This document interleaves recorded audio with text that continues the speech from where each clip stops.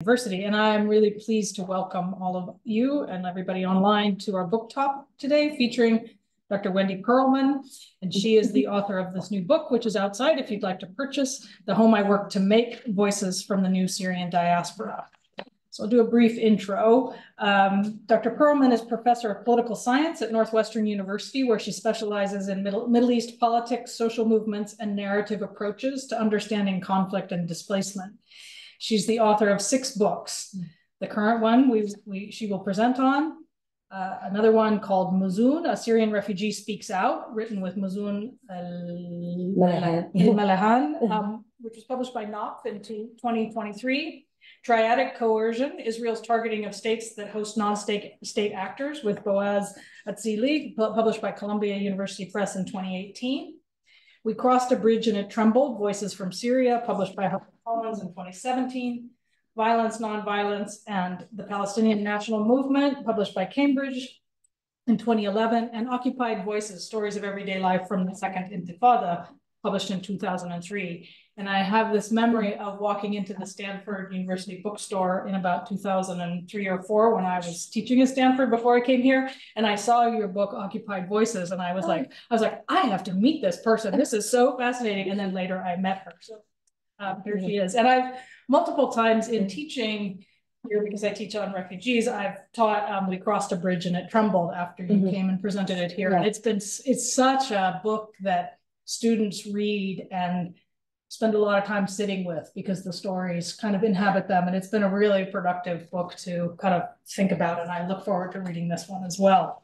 Mm-hmm. Um, Dr. Pearlman will begin with a presentation and then I will ask a question or two and then open up the floor for audience participation. You can raise your hand. You want to call on them or you want me to? Um, I can. Okay. And then Coco will have people online and, and we'll ask questions um, using, you can ask your questions there and she will ask. Um, and yeah, the book is out for sale outside. And if you are online, Coco will put the link to purchase it in the Zoom chat. So please join me in welcoming Dr. Pearlman. Thank you so much all for being here. I guess I should look at the camera and say thank you for being here too. It's cool to do a, a hybrid a hybrid talk. Um, and thank you for that warm introduction, Michelle. Um, I'd like to begin by asking each of you to take a few seconds to think of your own answer to the question, what is home? What is home to you? Your reaction might be positive or negative or kind of complicated. You might immediately know your answer to the question, what is home? Or you might struggle a bit or you might struggle a lot and perhaps never really answer, uh, get, arrive at one answer, or maybe you'll arrive at several answers. But I'm guessing that for nearly everyone, the question resonates in some way. It means something to you. You get it. And that is because home is a universal human experience. It's a theme across literature, film, music, and everyday speech, because the idea of home and finding home strikes at the core of what it means to exist as a person in the world. Today, I'd like to convince you that those forced to flee as refugees have special wisdom on the meaning of home. The violent dislodging of persons from their established moorings and their hard work to build their lives anew reveal truths about belonging and rootedness that simply can be obscured in more settled circumstances. And thus, the stories and reflections of displaced people have a lot to teach everyone, and perhaps especially those who have not been displaced, about the meaning of home. At least this is what I have come to appreciate in the next slide. If Okay, thank you. Uh, this is what I've come to learn um, in the process of conducting interviews with more than 500 Syrian refugees, migrants, and asylum seekers over five continents over the past 12 years. And I would be happy to talk much more in the Q&A about the process of doing interviews in this decades plus long project of, of finding people and doing open-ended interviews to collect their stories. I began this project of interviewing on the backdrop of the Arab uprisings, with a desire to understand the lived experience of Syrians' mass protests against authoritarian rule. as it was dangerous to do research inside Syria, or at least I was too afraid to do research inside Syria, I began interviewing Syrians who had fled as refugees. And also because my interest was especially in protest, my research networks became strongest among those who identified with the opposition and remain strongest of those today are the majority of my, my interviewees. In 2017, as was said, I used the interviews that I'd collected to date to write this book, We Crossed a Bridge and It Trembled, Voices from Syria. That book is a curation of interview excerpts that aim to chronicle and explain the Syrian uprising and war. That book concludes with the exodus of millions of refugees, but the Syrian story did not end there. My new book, The Home I Work to Make, is a tapestry of totally new testimonials that begin with stories of fleeing Syria and then follows refugees' journeys around the world as they reflect on losing home, searching for home, finding home, not finding home, believing in home, not believing in home, and ultimately rethinking the meaning of home itself. Today, I'd like to share some of these voices with the aim of sustaining attention to Syria's ongoing plight um, and also exploring what refugees can teach the world about how to find belonging in the world. Um, I will begin with some political context uh, that draws a bit from the previous book. And this is because I think it's essential to ground any discussions about displacement and refugees in an understanding of the context that led to people's forced migration in the first place. So in 1970, after decades of coups and instability, Hafez al-Assad seized power in Syria and established a strong authoritarian regime. Upon his death, his son Bashar inherited the presidency. The stories I've collected over the years emphasize how repression and threat of repression became part of Syrians' everyday lives, how a single ruling political party, an omnipresent security apparatus, a pervasive network of covert informants, all combined to police society and encourage society to police itself. For many people, a system built on corruption, co-optation, and fear was deeply degrading. But still, parents raised children on the saying, hush, the walls have ears. Generations didn't allow themselves to imagine that things could be different until 2011, when uprisings across the Middle East forced down authoritarian presidents in Tunisia and then Egypt. In Syria, a few tentative demonstrations got off the ground, spread over space, were sustained over time and became a national revolt. First calling only for reform of the political system, and then eventually for the overthrow of the regime. People said that they broke the barrier of fear. I've been able to ask hundreds of Syrians to describe what it felt like to protest for the first time. And the majority has said it's simply indescribable. I would always say, I'm writing a book. Can you try to put it into words? People would say things like, it was the first time I breathed, the first time I felt like a citizen. One man said, it was better than my wedding day. and when my wife heard that, she refused to speak to me for a month.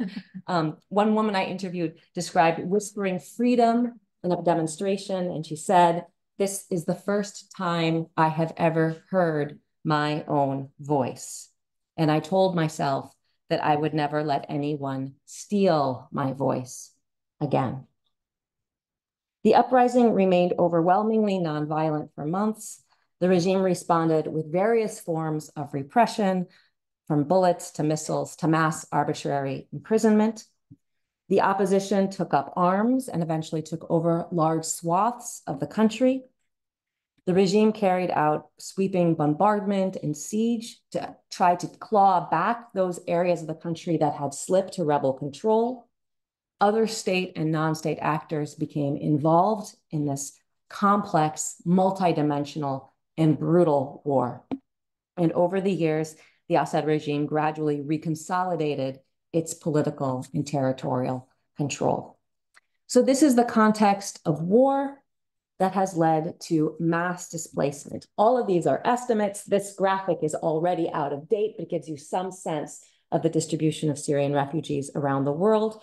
Some 15 million approximately Syrians have been forced to flee their homes. Among them, about 7.2 million are internally displaced. They might be in camps, they might be renting apartments, living with families, but have had to flee their homes. Some 5.5 million are refugees in the Middle East, with the largest number in Turkey, uh, followed by Lebanon and Jordan. About one and a half million Syrians have obtained asylum in Europe or are in the process of obtaining asylum or family reunification with those who have which leaves less than half a million distributed elsewhere, including in, in North America. And it's this mass displacement that has led me to think a lot about the question of home. So why home? Public interest in wars and arguably also public interest in refugee crises is strongest during their outsets or their most horrific peaks. And then interest often wanes. Things drop out of the headlines, people look away, they forget. But as military battles decline, new battles become palpable for survivors, like the need to make sense of it all, to extract meaning from loss, to find oneself amidst a shattered world. In other words, to find home. Thinking about home can offer a unique window into these processes of meaning making. I spent several years asking Syrians, what does home mean to you? Just as, as I asked you guys at the outset of this talk. And I asked this question because I thought and came to see that it's a way of asking, after so much loss, who have you become? What is it that you need to find peace in the world?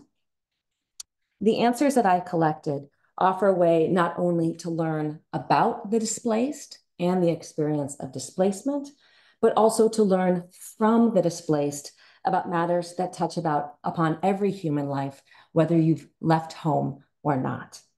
One thing these stories reveal is that home can be thought of as the converges, convergence of various different elements, such as security, love, place, and fulfillment.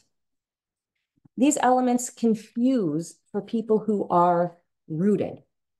Cultural geographer Yi-Fu Tuan defines rootedness as being, quote, unreflectively secure and comfortable in a particular locality. For Tuan, to be completely at home means you don't have to think about home that much. You don't ask yourself, am I at home or not? You simply are.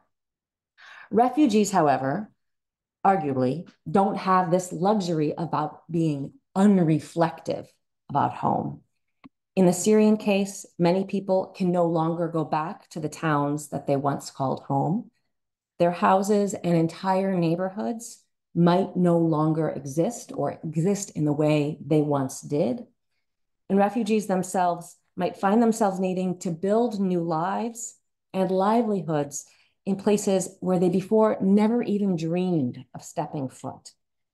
So many refugees are compelled to think about home and ask themselves, Am I at home?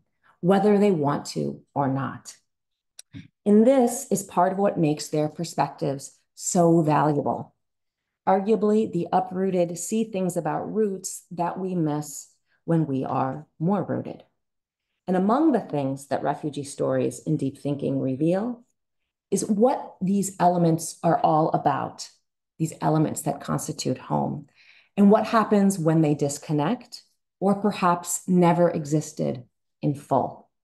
So, for example, the human desire for security and for love might go in different directions when people leave a place due to profound danger, but their family and friends remain there. In that case, you can maybe have security or you can have family, but you can't have them both together, um, at least in one, in one geographical place. The longing for an attachment to a native place or a cultural familiarity and for personal fulfillment might disconnect when one yearns from the familiar comforts of one's upbringing or childhood, but in that place, there is a ceiling on personal autonomy and what one can achieve. Under such circumstances, people face difficult choices about what elements they need or want most in a home, all of which can bring each element into sharper relief, can help us appreciate their varied meanings and dimensions, shedding new light on home itself as a multidimensional concept. So let's hear some of the reflections and stories that emerge in the home I work to make. It's just a small taste of the book. I will share some voices that are lightly condensed uh, for conciseness, along with some broader thoughts focusing on these four elements constituting home. So I'll begin with security. Colloquially, we often refer to home as a kind of haven or retreat. You can think about yourself. It's a place where you can escape from the pressures, the dangers of the public sphere and feel secure um, uh, in, in something to call home. Of course, there's a feminist critique uh, that tells us that home can also be a place of insecurity, and especially in context of domestic violence. Home might be directly associated with lack of security rather than security. So it, it puts a twist on, on that thought. Um, many Syrians' narratives also emphasize the element of security in a search for home, but also help us think about what people need in order to feel secure. It might not be obvious or self-evident. And one thing that comes to the fore in these stories is that one what one needs to feel secure might be grounded in personal experiences of what made one insecure in the past. What were past threats someone might be seeking to, to counter, to compensate for, to overcome in a search for a new home. So I'll share two, two narratives that give different perspectives on this question of security. The first is um, from a Syrian man I, I, was able to interview in Tokyo, Japan, uh, where there are about a thousand Syrian refugees now. Um, for him, security is, is really in the physical sense. The context of his narrative is that he was from a town that came under severe siege and bombardment for, uh, for years until it was finally retaken by regime forces and its allies, and, and thousands of people were forced to evacuate on, on foot, um, seeking safety. And this is his reference point in thinking about home now from Japan. And he said, during those years under siege, I was always expecting to be killed. I moved houses 27 times. All I owned was a backpack and a laptop. I'd take them and stay with a friend. After a week or two, I'd call another friend and stay with him. Because I had some IT skills, people would ask me for help with anything related to the internet. In exchange, they'd let me stay or take a shower or have lunch or dinner. Now I don't feel connected to any house at all, not to a country or a city or any place. You can imagine what home means to me. It means nothing. For me, a good home is a place that doesn't get bombed or shelled. It doesn't matter if it's cold or hot, small or big. Home is any place where you can sleep without waking up to an explosion in the middle of the night wondering if you're wounded or not.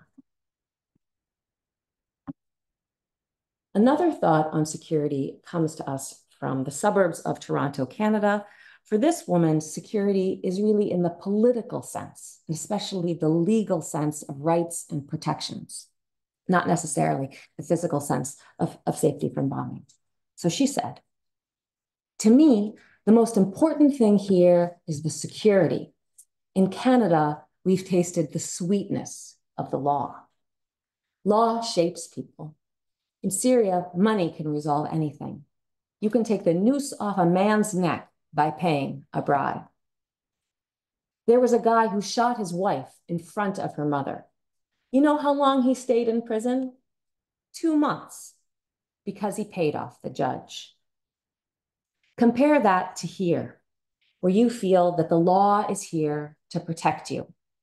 I feel secure in all meanings of the word.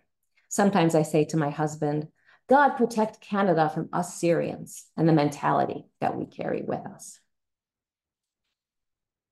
So two thoughts on security, which can encourage us to think about still other elements that might, uh, that might intersect with security for other people, depending on who they are and what they've lived and how that shapes what they've looked for. So then to move on from security to love. Colloquially, we've all heard the expression, home is where the heart is. Um, at least I've heard it myself growing up in the Midwest, where it's written on pillowcases and, and doormats and all over the place. Um, but beyond the cliche, it encourages us to think about how home might not be where you're from, but wherever those most precious to you reside. If that's the case, how do people make home without the people to whom they are closest? And can finding loves make a home out of a once foreign land? Or can love coexist with the sense of being a stranger? Again, two different perspectives. The first comes to us from Sydney, Australia. And here you hear from a man who thinks, yes, home is where the heart is. It's not any specific place. It's wherever you can be with those you love most. And place doesn't matter at all. So he begins again thinking about the violence that he endured in Syria or that his family endured. He said, I lost my dad, my uncle, and my brother. I remember thinking that I needed to stay alive for my mom and little sister. I was internally displaced for a month and a half and then felt like I couldn't stay in Syria any longer.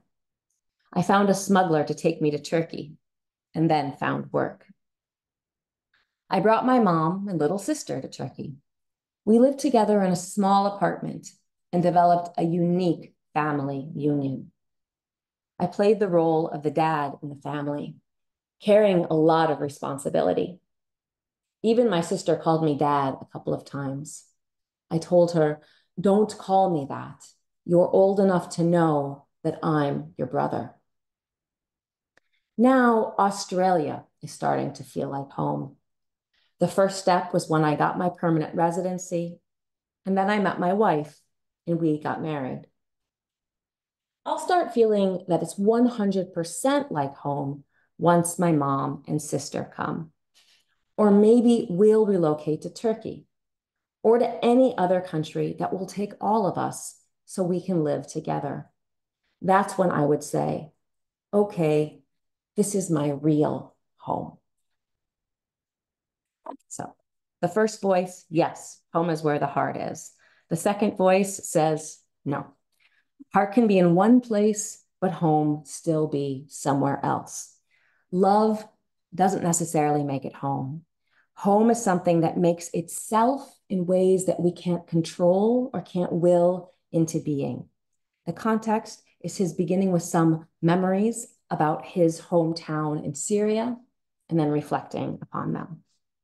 So he says, The people who will always be there for me because we grew up together. My seat in the university library, my high school, my elementary school, the store on the corner where the guy gives me something and I'll pay him tomorrow because he knows who I am. All of these details, this is what it makes it feel like home. They happened because of everything around them, because of the community we lived in. These details, you can't create them. They create themselves. They say home is where the heart is. I don't believe that. My heart is with my wife and my kid. My wife is from here, Chicago. My daughter was born here. I love them. They're the best thing that ever happened to me. But does that make it home? It could mean home in the future, but it doesn't now. You can't just decide overnight, I'm going to make it feel like home. Home is the details that you don't think about until you lose them. It will take time for me to feel like I belong to this place. At the moment, I don't feel at home anywhere, but I try to find something that I can relate to. Back home, I went to the river. Here, I go to the lake. Okay, Lake Michigan is not the Euphrates, but it's a body of water. So I run by the lake every day. It means something to me. If we barbecue every day in the summer, we will make memories there too.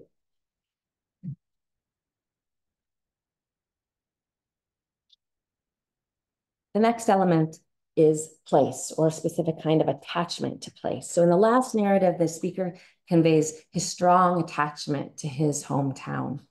This points to the significance of home as a place. And in everyday language, it's most common to refer to home as something that is geographic and locatable. It might be a house, a neighborhood, a town, a city, a country. You could notice that I began asking you, what is home? But typically people will ask, where is home? So thinking about home invites us to uncover how and why and under what circumstances people come to endow particular places with meaning and significance. It raises a question that other scholars have raised. Are humans naturally grounded in some sort of quote unquote native place, such that forced migration leaves them uh, ungrounded and uprooted? And once forced to migrate, can home be recovered? Can people develop attachments to new places? Or will something always be missing? Again, two different perspectives. This one comes to us from Amman, Jordan, where we see a woman who has very strong connections to her native hometown and homeland.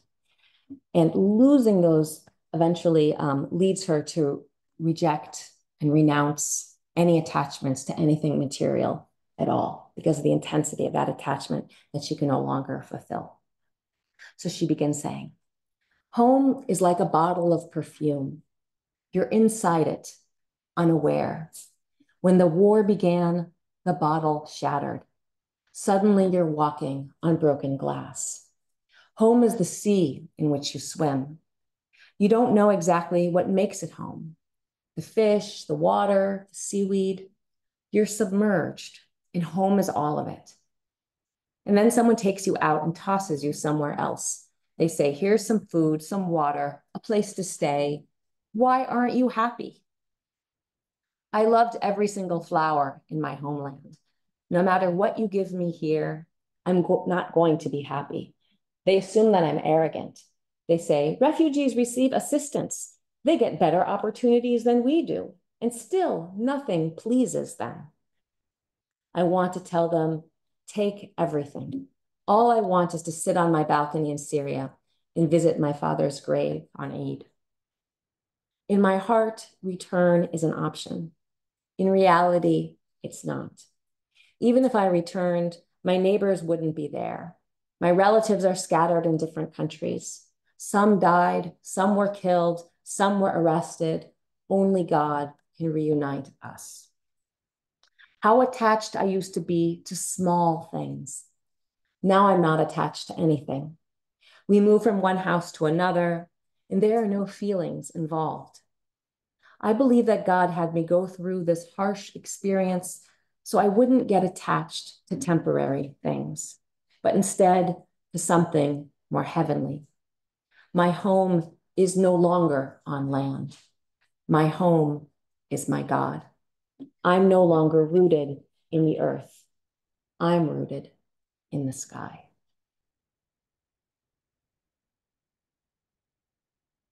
The next voice, again, offers a very different opinion. Uh, this speaker has strong attachments to place, but not to his home in Syria, rather to the new home that he builds in exile. The context is he is a teenager who witnessed his uh, friend killed in a demonstration. Uh, he became increasingly involved in protest. His parents began to get threats. His parents shipped him off in a car to Lebanon uh, on his own. We had a very harsh experience creating his life uh, anew as a young, very young person.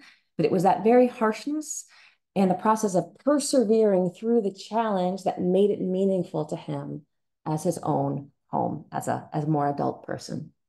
So he began recalling how he left Syria. I woke up and my mom said, There's a car downstairs waiting to take you to Lebanon. On the border, the driver said, We're dropping you off here. It was the first time I'd ever traveled. I didn't know where I was or what I was supposed to do. I kept talking to people and found a house to rent. It was a terrible house. It stank and was always flooding. Moving in was the scariest thing in my life. I'd never lived alone before. It was the first time that I had to think about what to eat, about finding water to drink or shower. I didn't know how to cook anything. When I finally got a plate, knife, spoon, and fork, when I was able to fry an egg, the house transformed from a source of fear to a source of safety. It became the home I worked to make. I arrived in that house a boy, and that is where I started to gain a sense of responsibility. When I entered that house, it was a country, and I was its president. It was me, my true personality, not something I was creating to please others. I'd write on sticky notes and stick them on the wall. I'd write, Today this happened to me. And I'd write the date and time. I felt that anyone living in a house without paper and pencil would disappear.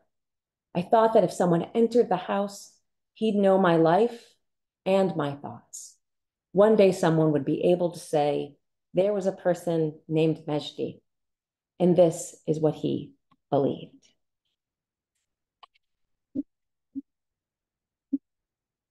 So the fourth element I've discussed, I'll discuss, which is not to say it's the, the final and last word. There are likely still other elements that constitute home, but these are, are the ones that come out most prominently in, in the stories I've gathered, is a sense of fulfillment.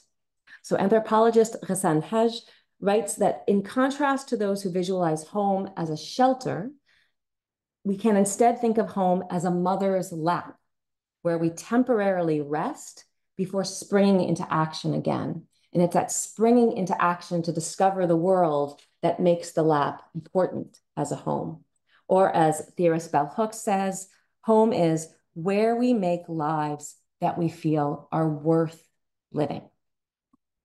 In these views, home is not a particular place as much as wherever or whatever allows one to be one's truest self and realize one sense of purpose. So let me share two different perspectives on this idea. The first comes to us from Istanbul, Turkey. This is a young woman who flees Syria to Egypt and Egypt eventually to Turkey. And along the way, she develops her own theory of home, that it's not connected to any particular place, but rather whatever allows you to grow and develop.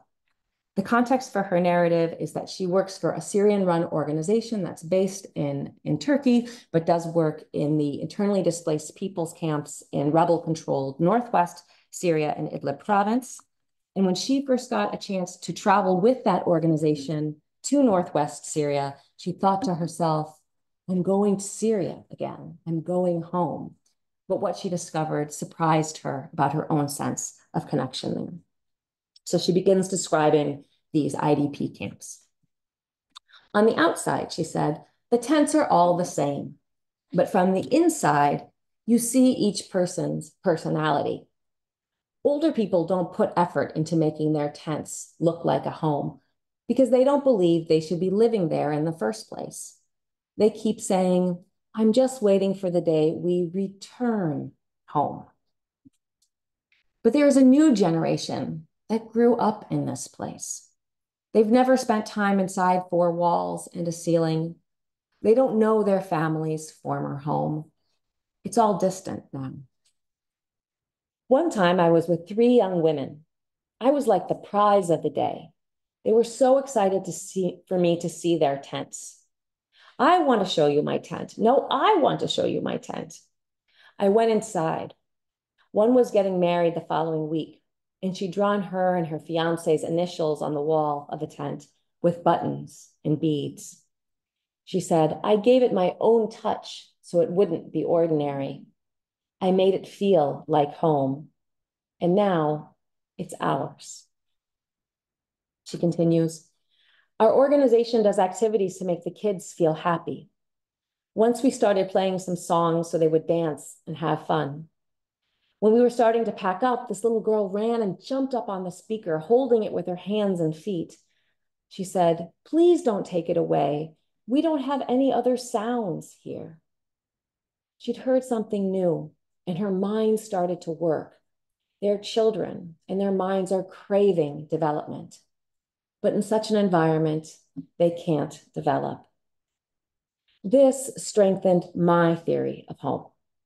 Home is about growing into a bigger person. Home is finding what a place can give you that can help you grow. When people feel that they have no more opportunities to grow, they want to go back to what they grew with in the past. That's why a lot of the older people say, I miss my home, I miss my things. They don't have a new goal or a future me they want to become. So they remain attached to their old homes. The first time I went to Syria, I thought, okay, I'm home now. I should feel at home. But I asked myself if I could stay, and I couldn't. In that harsh environment, only the brave ones succeed to grow. They have dreams and will do whatever they can to keep making themselves grow bigger. And the last voice resonates with the previous one, showing that this process of losing home and finding home and the fulfillment of home elsewhere can be a process of personal discovery and growth. So much that one might find the very essence of home not out in the world, but in their very selves. So she again begins comparing her experiences in Syria to what she has now in Denmark and said, When I was growing up, everything made sense. I had Syria, I had home, my religion, my family, the way I dressed, it all fit together. And then suddenly I was outside my home in Turkey. The secular environment questioned my beliefs, my role in life, my sense of belonging. It questioned all of my identities at the same time. It was scary.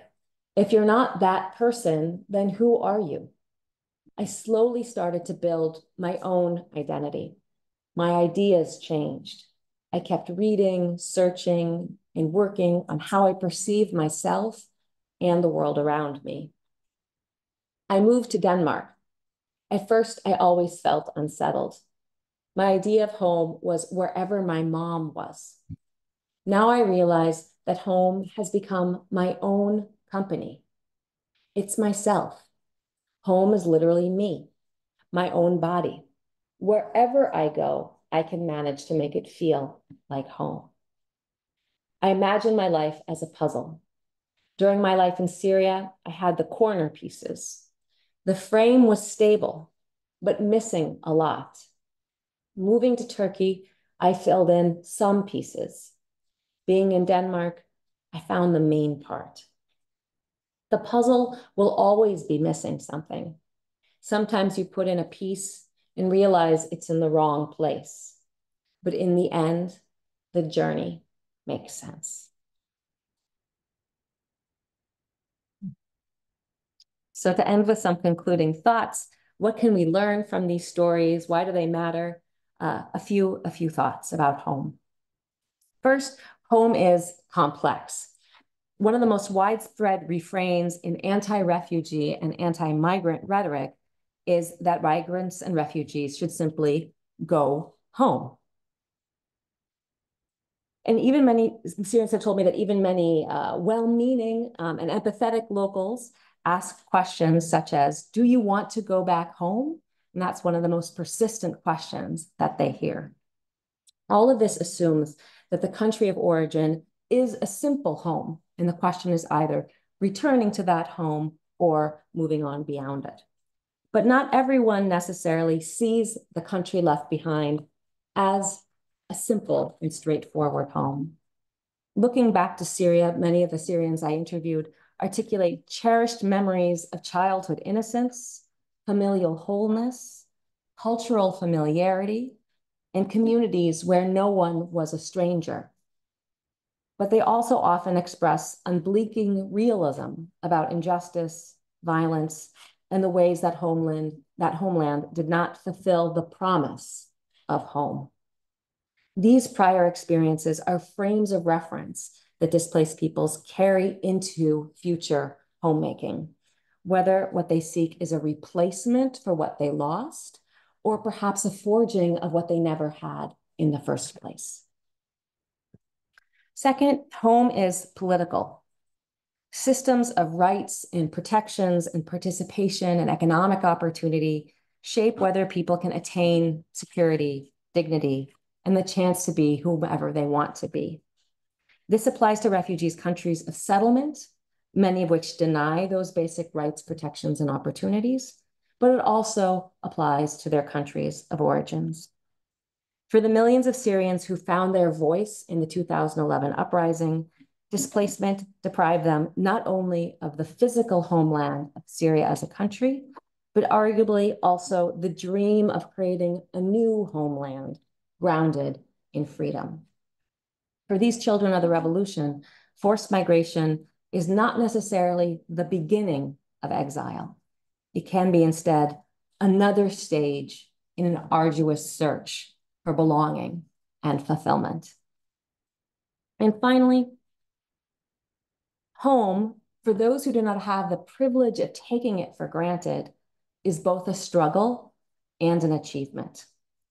Before creating a home in the world, people must define it for themselves. Discovering what home means means discovering who one is and how one finds peace. It entails realizing what matters most and what one ultimately can do without if forced. This is a kind of awareness that does not come without adversity, soul searching, sometimes pain. Home, in other words, takes work. And when people arrive at something that they feel is home, it is the home that they worked to make. This understanding exposes the hollowness of discourses that portray refugees as powerless victims or accuse them of exploiting tax funded services in host states. No less, it lays bare the problem of tokenizing the successes of migrant doctors, entrepreneurs, star pupils who defy the odds to earn great accolades. Instead, it suggests that simply developing a feeling of home is itself a feat that defies the odds. Seeing home in this light encourages us to appreciate all the work that refugees, migrants, and asylum seekers do to create rootedness and belonging, to have empathy for those who are still searching for home, and to learn from what they have to say. Thank you.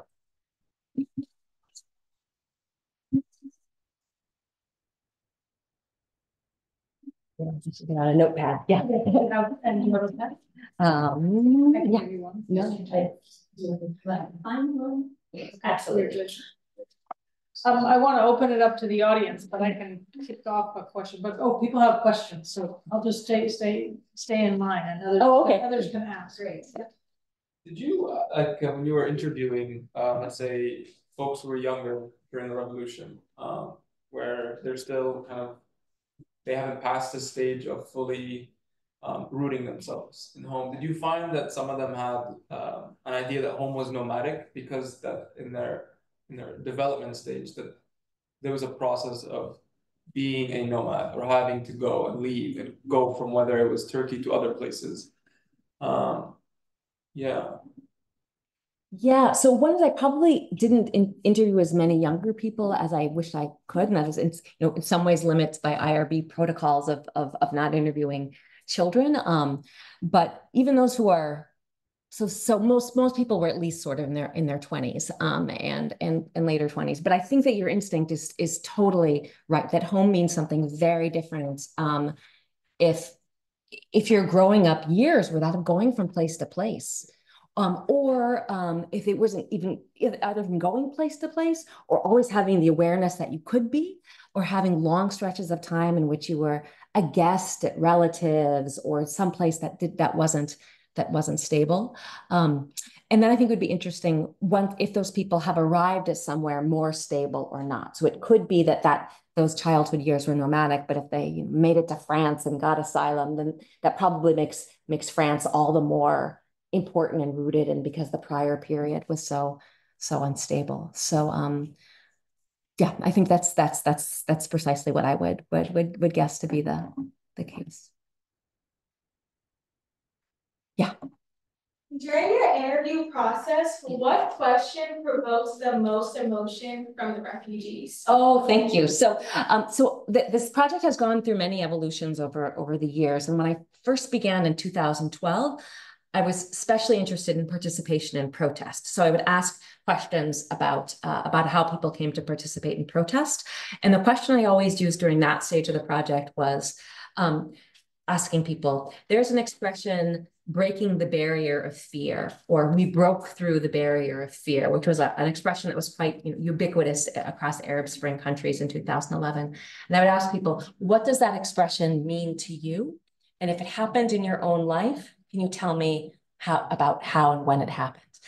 And for people who had participated in protests, that was a pretty emotional question. It was it just sort of opened um, a door to uh, both what the what the revolution meant to people, as well as their own personal experience of participating in dissent, and both how and why that was so meaningful. So that was the first phase of the project.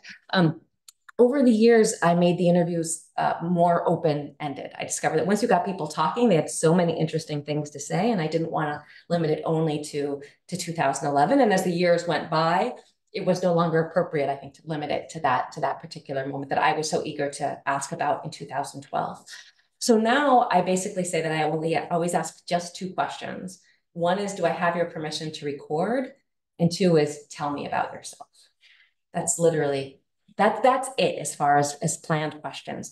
And then people just start talking. And my job is basically to be an active listener. And along the way, maybe ask some follow-up questions like, well, what did that feel like? What do you mean by that? Can you tell me more about that to get to kind of encourage people to elaborate on, on some things that, that strike me as really, really interesting and meaningful? But essentially, I'm just open the door. And I always think of it as as the interviewee is kind of driving the bus and going wherever they want to go in their life story, which also gives them the chance to not go into certain dark alleys if that's they don't want to go. Of course, when someone starts talking, they could still talk about all sorts of things, including things that that are quite emotional and later they re, they regret even talking about. But it in some way kind of shifts that the agency to the person talking and, and I get to listen to whatever it is they want to say. And um, if there's anything they don't want to say, it just never even um, comes up. So in the last phase of interviews, that's sort of what I would do. But as I became more and more uh, certain that I wanted to focus on the question of home, at the very end of the interview, I would ask about that more specifically. In, in setting up the interview, a person would know, I would tell them I'm, I'm, I'm wanting to collect Syrian stories of, of home but but I wouldn't get to that question to the very end of the interview. And I found that productive in a, in a few ways that it was after maybe a couple of hours of someone really reflecting on their life, they were in a more reflective space to take on a kind of big momentous question like that. If it, if I started with that, I would probably get one word answers. Home is where my toothbrush is. Home is, you know, Washington, D.C. or something. But after someone has spent a lot of time really thinking about who they are, it's a way of concluding the interview almost. Is there anything more you wanted to add about that? And here, because it's CCAS, you guys are probably wondering, what word did you use in Arabic to even talk about home? Um, and uh, and I ended up using lots of different different words when I did interviews in Arabic. Well, um, would say that there's home, you know, focusing on this English word home, but it's a kind of combination of lots of different things. And in some ways, uh, you know, uses watan, which we could think of as homeland or nation, which which is also, I mean, the kind of heaviness of a nation state and, and a homeland, um, which people can also use, you know, poetically and metaphorically, like you are my watan and that sort of thing, but, but sometimes carries the kind of heavy political connotations of nationalism and and is something that is used by political regimes a lot you know, uh, as well. So that was one aspect. Some but some people that word really resonated and that's what sort of got them going. Um, i would also sort of invoke more kind of domestic intimate words that are probably closer to house like bayt or menzel or dar um, and the word that usually kind of opened up the biggest sort of space for thinking was really intimat or belonging um, which can sometimes be really ab an abstract thing to talk about. Um, but when you combine it with those types of, of, of those sort of the combination of those three words, most of the interviewees would, would know what it was I was trying to get at. Um, because most people I was talking to, they've been thinking about themselves, this all this stuff themselves, um, and talking about it with their friends. And in focusing on home, I would say it wasn't like I was, I felt like I was kind of entering a conversation that people were already having. Um, and uh, so it didn't take take much for these interviews sometimes to be quite quite emotional, but um, my questions themselves were usually extremely mundane. Thank you Sure. Sure. Yeah. Um, thank you so much for this talk, it sounds very interesting. Um, I have a question on how you, like, basically take all of the interviews and then kind of make it into a research or make it, turn it into a book. Yeah. Um, and my question is more, because you did over two hundred interviews, Yeah. and because of the interviews, like you mentioned, were very broad in nature, so everyone was talking about their experience. Totally. How do you turn that into a book that, you know, is not overshadowed with like theory and research and really centers the experience of the refugees and at the same time also is grounded in like some kind of argument that you're trying to put forward or like you mentioned, Yeah. like um exploring the definition of home, for example, so.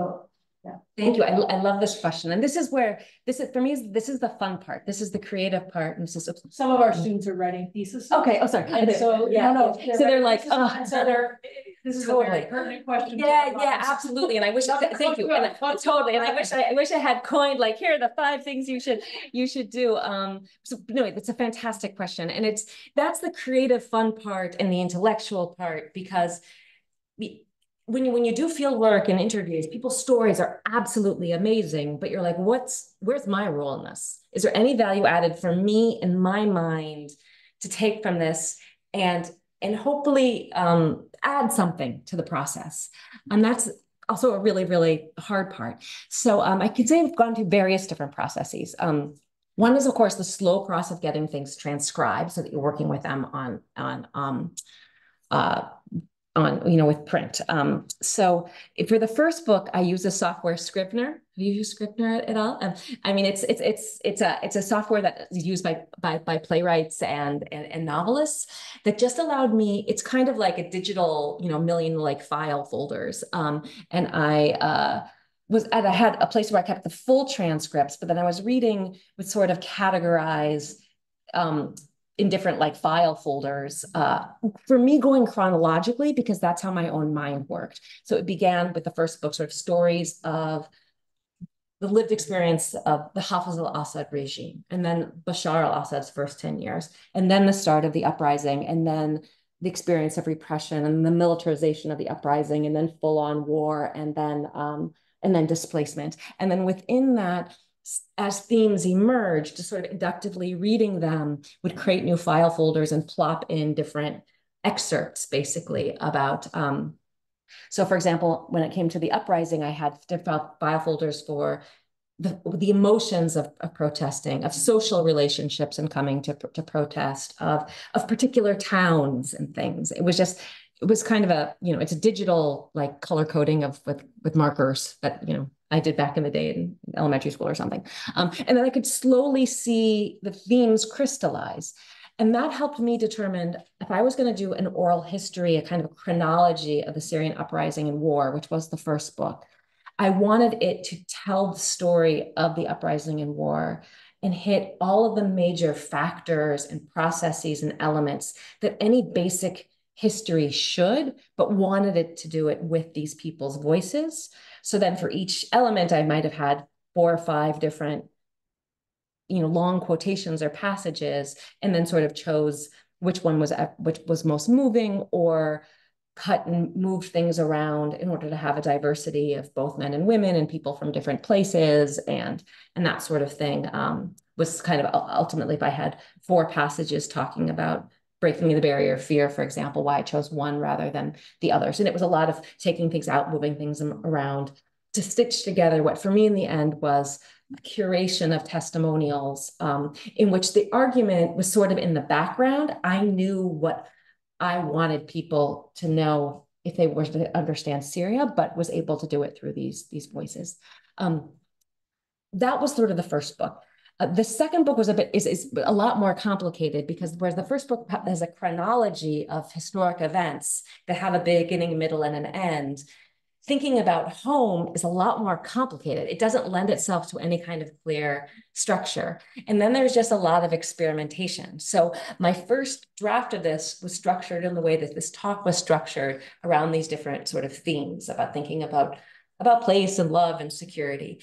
And that didn't work as a book because the themes overlap so much. And at the end, everybody was talking about all of these things. And as a for a reader, it felt like if you would read one story, you'd sort of go through the whole story and, you know, and then another person, as a reader, didn't feel like you'd be going from one place to another. You'd sort of be going in circles, and that's not very, very satisfying.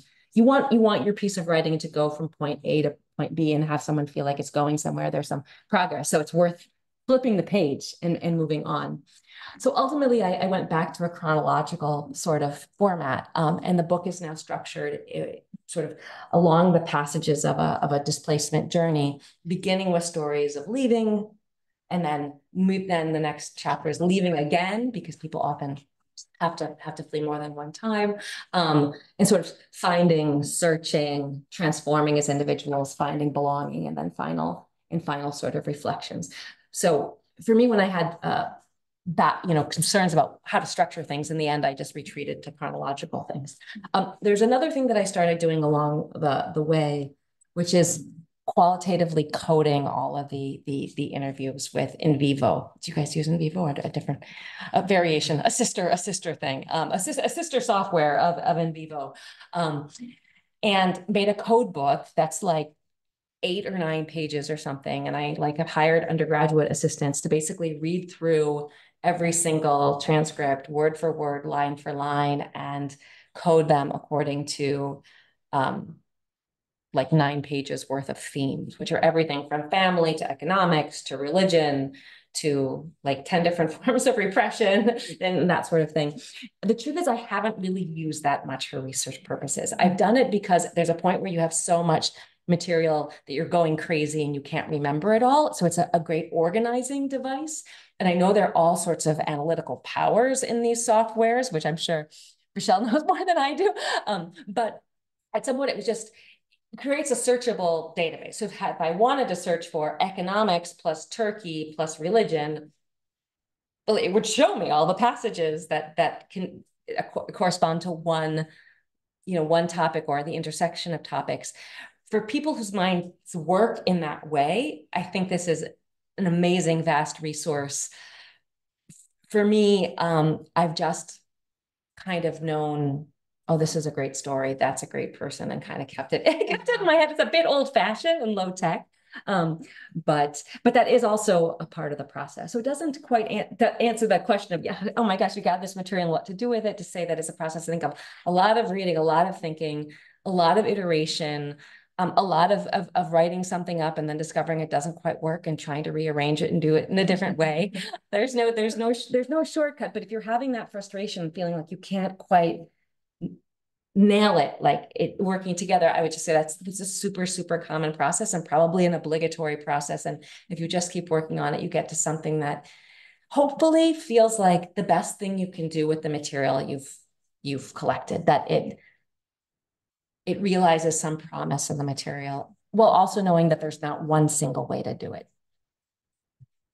Yeah, because another, I guess, of question that I could clearly talk forever, but also I'll try to, to keep it to keep it a little bit more brief. Is there's a question when you're doing testimonial based work um, about what what is your role as a narrator, as a writer. Um, in the first for the first book, I have an introduction that's in my voice and then the rest just goes name story, name story, name story, name story. Clearly my fingerprints are all over every single word because I chose what to put and what not to put, where to cut and how to condense and what order to put them in.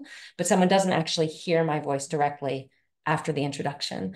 In this new book, um, because the topic's a bit more complicated, um, or uh, not complicated, abstract, um, I put myself in a bit more. There's an introduction, and then I have a chapter introduction for each chapter where I have a little bit on the theme of those stories and then seven or eight stories. And then I come back in my voice with another like mini essay plus um, plus the voices. And that's how it works to the end.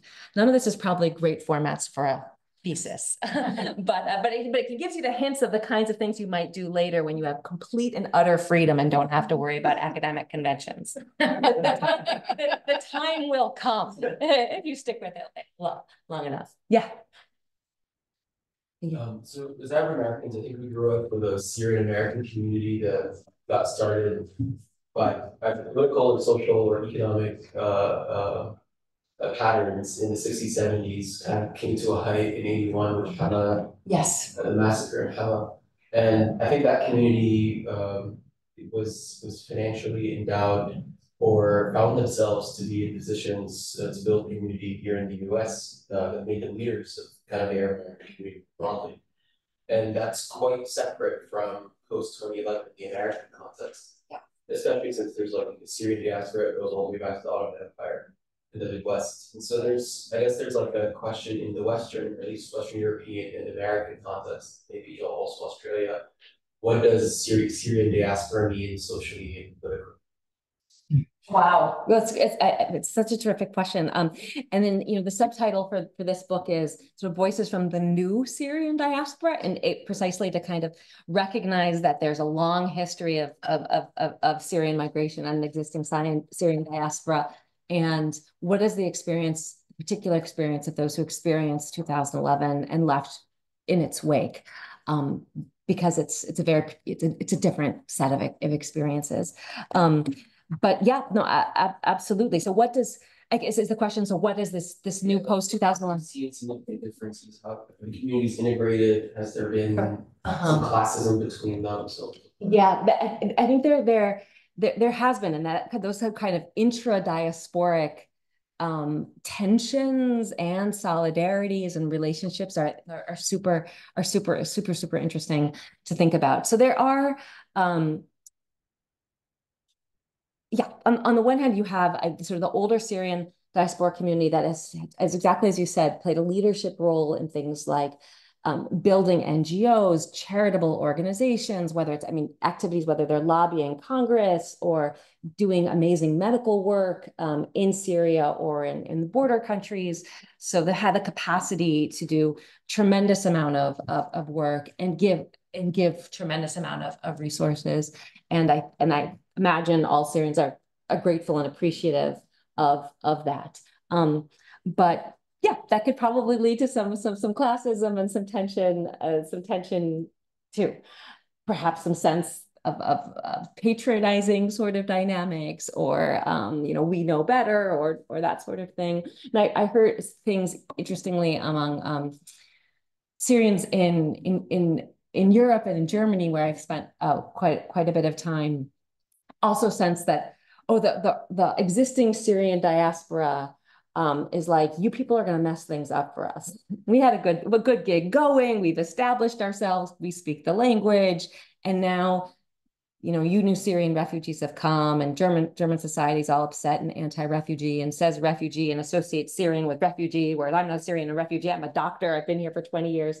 Um, and so that there's been, you know, some, some tension of almost like a feeling of, of, of, of turf or like a, a zero sum sort of game that we made these gains and if you guys come to sort of inch in on them it won't it'll take away from something that we've come and, and built and that can be some tension. And and and I, I talked to some post 2011 folks who were coming expecting maybe more solidarity and more giving and were uh, upset or disappointed to find that kind of reaction. At the same time there are people who find um, you know tremendous tremendous you know philanthropy and giving and commitment and, and activism as well. So it's i think it's a process of discovery and sort of self-discovery of maybe people assuming i could imagine that people could assume oh we're all syrians. But you think i think you know i, I as a syrian think that being syrian is something but you think that syrian is something else. And then we discover that maybe being syrian means different things to us or we have different references or um, that those who've been here for a long time have a thinking about syria which new folks are like, that's completely outdated. You're stuck in the 1980s. You know, even your language might be stuck in the 1980s. And some of your thinking might be stuck in the 1980s. And and um, uh, and then and then even within the, the post 2011 folks, those who left in 2012 as opposed to those who left in, in 2019. So um, it's it's such a dynamic complex um, society that had where where so much has happened so quickly that there is probably there's a lot of diversity of experiences that have to be worked through thinking about to what degree this is a single community or a, a, a mosaic community of, of of people with with some different ideas and experiences. Did was you do want to follow up? I have a follow-up question, I know other people Yeah. ask, but if, if, when can you, when you can get to, Yeah. if you can compare it to kind of the Lebanese diaspora? In any way, also in terms of, in terms of mm-hmm. very early movements, then some things in the seventies and eighties and then more. Recently. But Yeah, that's just. Yeah, yeah, perhaps I think, I mean, I mean, it, with, with, with some added sort of specificities of most people not being able to go back. Some people do go back, but a lot, a lot of people can't imagine going back. And, um, yeah, and, and the circumstances that led, that left people to, to, to leave. Yeah. Yeah. Yeah, this is a question. Oh, great.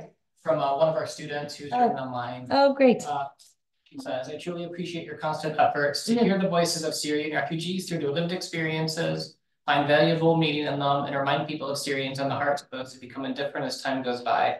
I wonder if you believe these efforts can bring some I wonder if you believe these efforts can bring some kind of tangible change aside from having their stories heard and changing people's perception. Thank you for your great lecture. Uh, Thank you. It's hard. I mean, this is a question all academics, we, you ask ourselves, right? Like, do, do, does what we do matter? Can it change anything? I don't think I would, you know, um, I don't flatter myself to, to, I don't know, to think about it, if we can bring about concrete change. I hope so. All, I think all we can, we can do is try, you know, and, and when you think about each of us, like, what are the tools that we have at our disposal? What, what are our skills? What is, what is it our time and our resources and our training allow us to do? Um, I can collect stories and, and put them together in books. I hope it, it- people read them and it, and it can change something. Um, but I'm probably not the best person to ask about about the impact of my own work, but I, but I hope so. I hope so. And I think that one, for example, one theme that comes together, come through in this new book is I would really say the, the power of a, of a single friendship or a single relationship. There's so many people I, I, I- spoke with, um, that especially finding themselves in, in European asylum situations that are quite lonely and, um, in society they feel are quite individualistic and languages that are foreign and, and bureaucracies that are hard to navigate. That know, like a single local friend you can turn to to help you call to get a doctor's appointment that makes you feel the difference between feeling like you know nobody in this village in Bavaria and that you've got someone you can turn to is is really really really um, huge huge. So if this is the kind of so if so i think for me the, the greatest impact might be if someone were to read that think and be a little bit more open to to treating a newcomer with with with compassion and reaching out literally i think it can change lives for some of the people i talk to it changed their lives a single friend Um, maybe this is a good follow-up. Yeah. I'm a little curious, um, since you've worked on this for a really long time and with Yeah. people in different contexts and places. yeah Um, I imagine also returning maybe to interview the same person again. What's it been like for you to navigate these relationships across times and spaces? Oh, thank you. Um, it's, you know, it's, it's, it's, it's hard. In many ways, it feels like, uh, um, I mean, it's wonderful. Like, I mean, it's, it's, it's enriched my life beyond any degree. I mean, the, the privilege of, of knowing these people and, and developing relationships and getting to know their families and that sort of thing is, is absolutely, um, absolutely incredible. There's also a lot, of feeling of a lot of guilt of, of never, you know, of never quite doing enough. You're never in touch enough as you, as you, as you should be or could be. And, you know, that's, it's, it's, it's, it is a kind of feel, a lot of feeling of, of, um, oh, I should reach out to people more. I'm so sorry. I've been so out of touch. You know, a lot of messages that, that start with, oh, I'm so sorry. Ah, it's been so long since I contacted you. And, and that's part of, I mean, also that I've, I've erred on the side of getting a lot of breath and a, and, and a lot of, of, interviews as opposed to really, really in depth with a smaller number of interlocutors, which means I'm, I'm probably never quite as in touch with everybody. I'm sorry as, I- as I should be, but, but you try. but you, but you try. But it's been amazing to see people over the years. So for example, even some of the people that I whose stories I read are now in a very different place. And it's been amazing to get to see them sometimes in a better place, sometimes in a not a not better place. Um, one thing is um, you know, it's, it's, the interviews I did over various years, and last summer when the when I was about ready to sort of put the the book to to to go into press, I reached out to the 38 speakers in the in the book and showed them at that point the sort of condensed, edited narrative as it would appear in the book, and asked for their permission again at that time, saying, knowing who you are now and seeing this edited version, you know, do you approve this? Would you want to use your real name? Is there anything you would want to change? And most people said, read that and said, oh my God, I said that. but it was amazing. Almost nearly everyone's view had changed in some way. They were like, this is so interesting. I'm, I'm having a conversation with my younger self. And then yeah. seeing their own reactions to how they had changed um, was reminded me that home is a dynamic process. All I have are snapshots at one moment in time, not someone's unending theory and and being able to have contact with people over time made that lesson extremely clear for me in a way I don't think I would have appreciated. Um, in part because we, you know, we do these texts, we code them, we deal with them, we think so much about this on paper. What I have is something on paper, and these are real human beings whose lives have completely moved on. So uh, that's been incredibly enriching and has taught me a lot.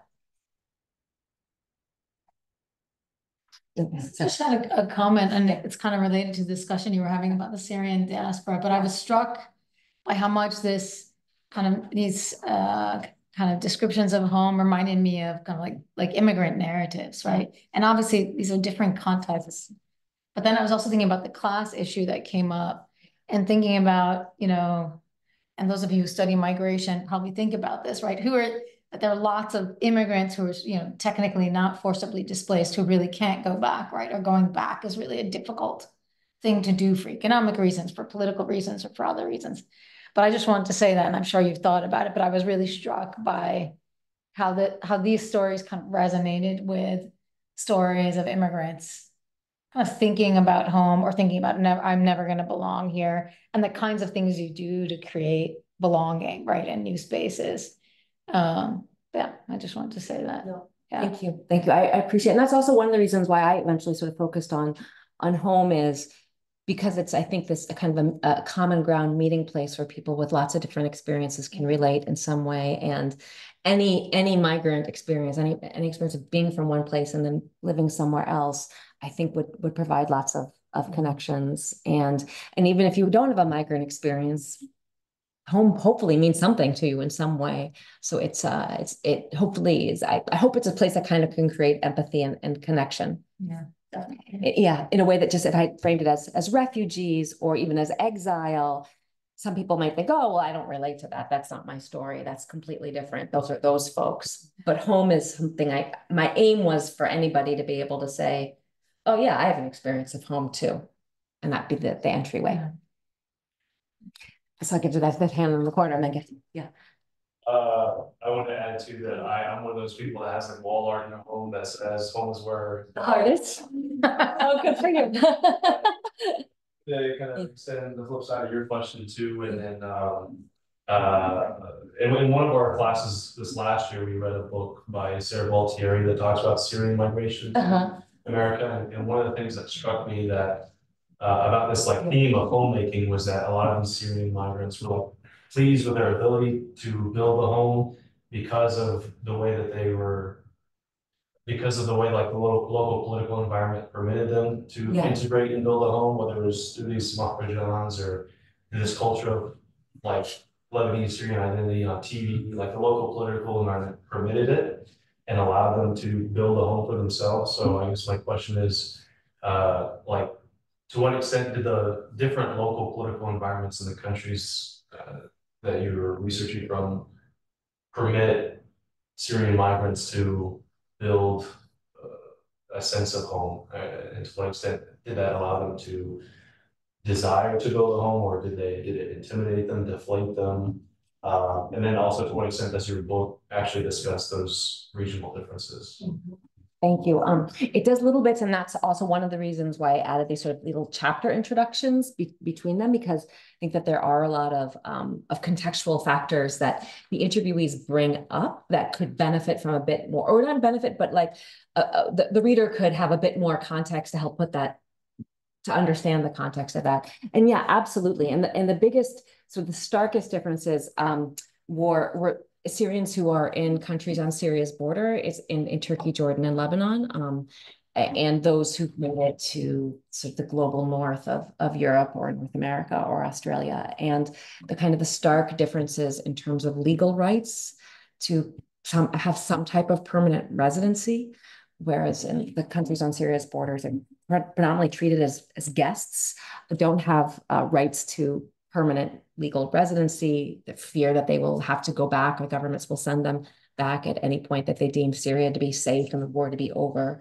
Um, and because of that, often also lack legal rights to work in the formal economic sector. So people often are working in the informal economic sector with you know, low wages, exploitative conditions, and no recourse if you have a bad boss who decides not to pay you or decides to beat you or whatever. Um, and uh, and then all the material deprivation that comes from that. So that what it means to make home when um, you are, lack the most basic, you know, legal rights of residency, as opposed to people who've made it to Europe often obtain asylum, have a pathway to citizenship, there can for some people be still a residual fear. They're going to deport us they're going to deport us. That is really deeply ingrained. But legally have have papers have uh, social welfare states especially in the european context that have invested a lot of money into allowing people to have um, learn the language have job retraining um, to kind of get the basic tools people need to restart their lives.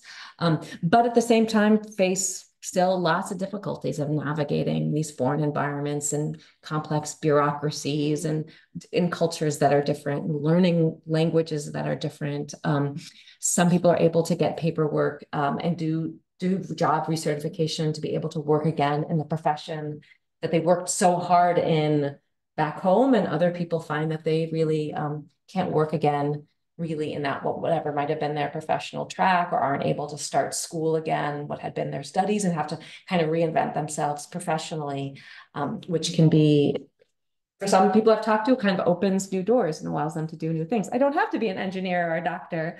I'm going to study critical theory here in, in Germany or whatever. Um, and for some people, it's a real loss of identity that is, um, depending on what stage of life you're at, that's that's really hard. I thought of myself as a pharmacist. That was my my pride and how I, my status in my community. And and I won't ever really, I don't see how I can do that again here in, in Sweden or in Germany or something.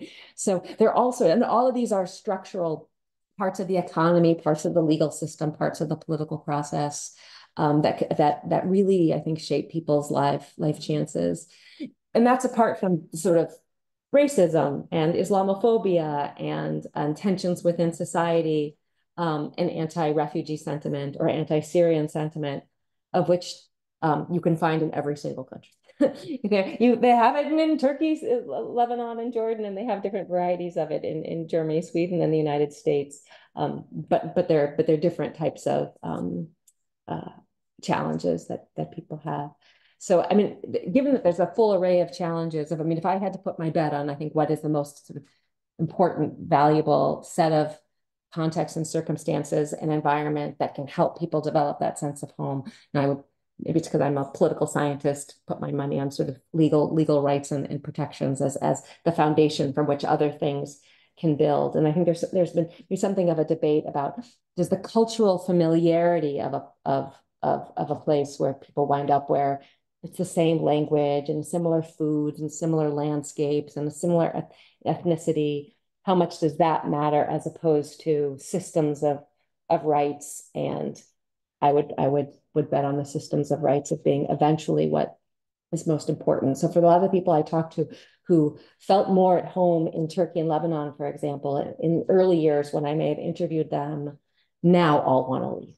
They all want to leave those those countries. And and that sort of an, an initial kind of cultural familiarity um, did not sort of withstand the test of of cumulative challenges of not having a had having basic rights.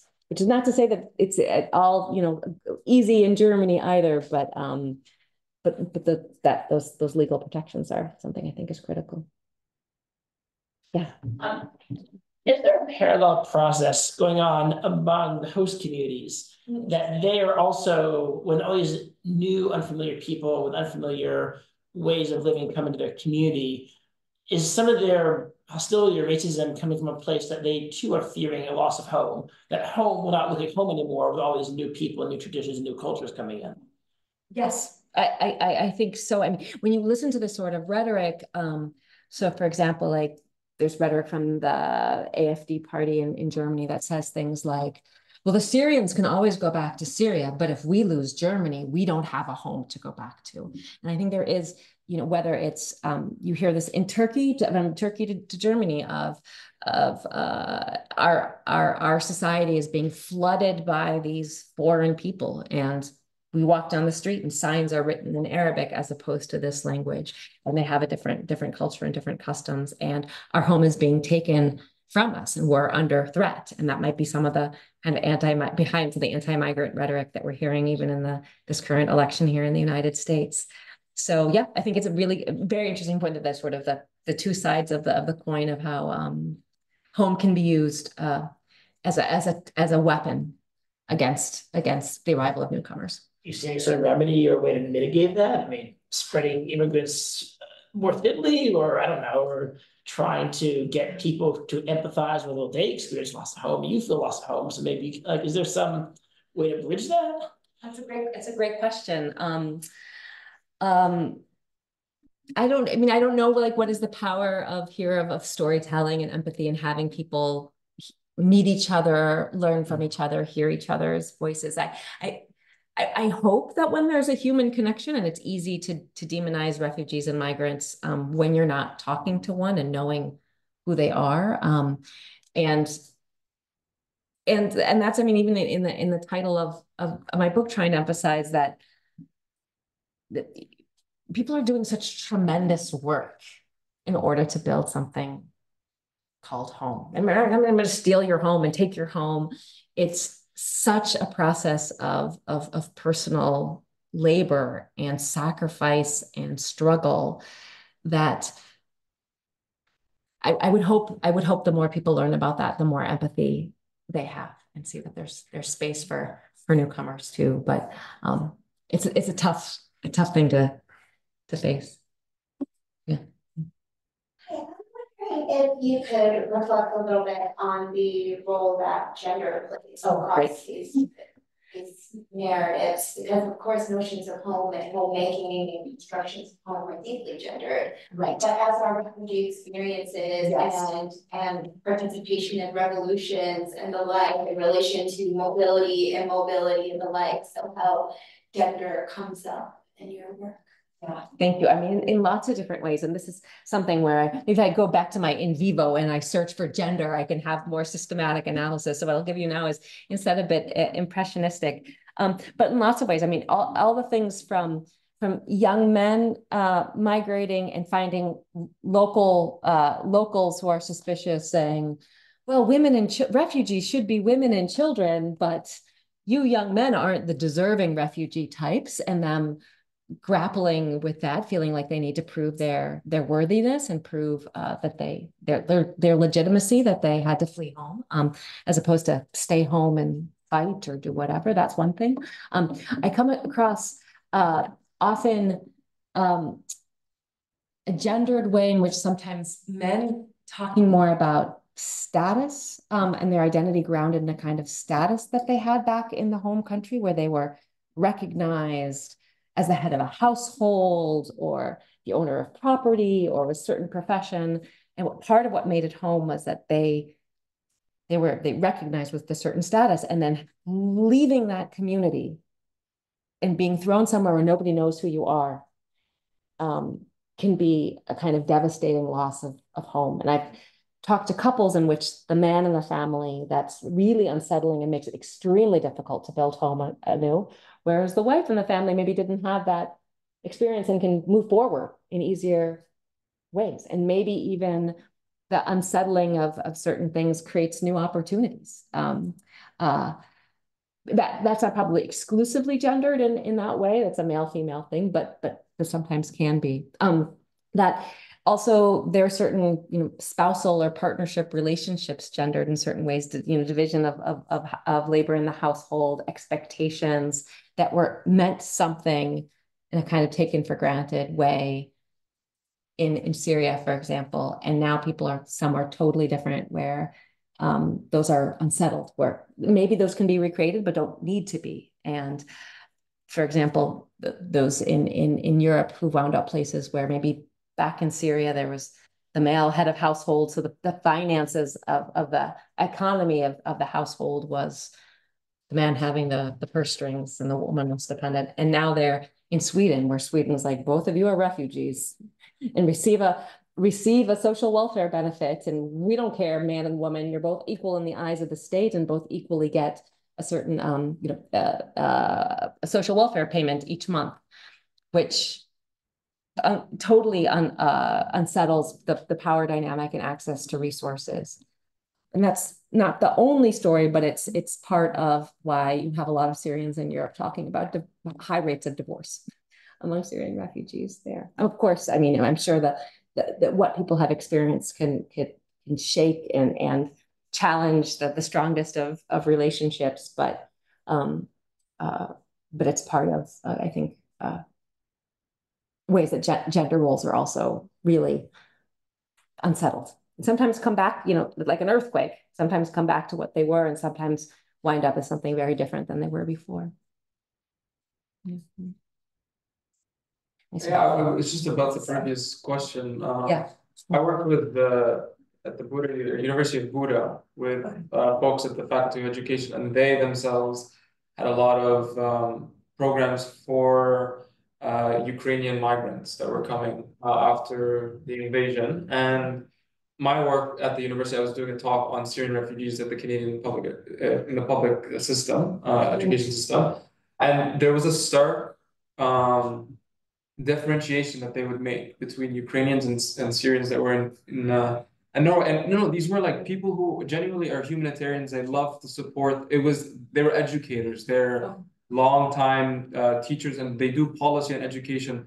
But there was a clear distinction in how they saw um, the need for getting the Syrians in Norway as educated and as established and as safe, so they can return to rebuild home, versus the Ukrainian it could be the freshness of the Ukrainian uh, refugee, uh, you know, the intake of Ukrainians because they were, I was there in May 2022, so the Ukrainian, uh, like their situation started in February, March, and so um, I, I often think that the difference that they were like the way that they were articulating the difference was race. It was purely race, and and I think within your your question about what is home, it's the issue isn't the combating like you know spreading them as much yeah germany has 500000 that's a lot yeah. but it's also the idea that my home needs to be purely one way in race and in look. And i think that is a much more uh you know that's a target to change rather than like you know thinking about how we're gonna what's our migration policy because that's still hi- having a hierarchy on the individual. And so whether Norway wants to be like you're both equal in our eyes, it still differentiates in race and how it's treating the Ukrainians versus the Syrians. I'm not saying that the uh, the government in Norway wasn't good to the Syrians. It was. It was just like there was a program of ensuring that they are here so they can live, breathe, and eat and educate themselves so they can go back one day. Um, versus the Ukrainians, it was completely different. It was like we are now putting them in housing and then permanent housing, um, where they are, um, you know, we're looking to eh, if the like one of the faculty, uh, the dean of the faculty of education had mentioned that there's a potential of giving citizenship and passports very quickly because you don't know if there's a we were talking about hypotheticals if the Ukrainian government was to collapse. Um, and that's not something that I could have had imagine of hearing him say that about Syrians. Like Syrians, there was a process, and that they need to hear learn the language in a point where um, we're not they're not changing too much of Norway. Mm -hmm. Um, And again, that was localized to Bodø and the Arctic Circle, it's a completely different environment than um the more metropolitan areas, but yeah. Yeah, no, that sounds, that sounds very familiar, and I mean, connecting to this question of local seeing, think, feeling like. If these people come, they're going to change our home, Yeah. nor, they will take over Norway and there will be a Muslim invasion, and. I remember in my first, uh, I ended up spending five summers in, in, in Germany, and I remember the first summers hearing people say things like. You know, all these Syrians, are they gonna force my sister to wear a hijab and things? I'm like, are you crazy? You know, and you talk to Syrians and they're like, all we want to do is get through the bureaucracy and and and get our paperwork and you know get a get a uh, get our insurance, wait for the letter to come and that sort of thing. But Syrians were overwhelmed by bureaucracy and simply wanted to be safe and get their kids back in school and think about the future. And the last thing they were, you know, it was laughable that they suddenly wanted to change German society. But of course, you know, population movements does gradually change society. And we hope it, it changes societies in ways that are great. It's mu- mu- multicultural and dynamic and people learn from each other and the food gets better and, you know, all these types of things. But, um, but I think there is a lot of local fear of, um, our country is being taken over. It's no longer ours. It will change. Um, and, uh, and that's seems almost an existential sort of threat, which is mixed with a lot of racism and in this case also a lot of Islamophobia. So it's it's tough. I think that's a, a real part and kind of a rise of increasing anti-migrant sentiment and and and the right throughout Europe and and in places closer to home as well. Places that are basically all immigrant, ba- right? This is the interesting thing about the US, like a country of immigrants, right? Absolutely. And um, and the immigrant threat still has value. I mean, it's just, you only have to be here a generation to start seeing the next generation as a threat. Yeah, yeah, yeah. The shut, sort of shut the door behind you. Yeah, it's it is a it's a, it's a recurrent story. It is time and we Okay, should. that's you true. pause No. Thank you guys. Some of these are wonderful questions. I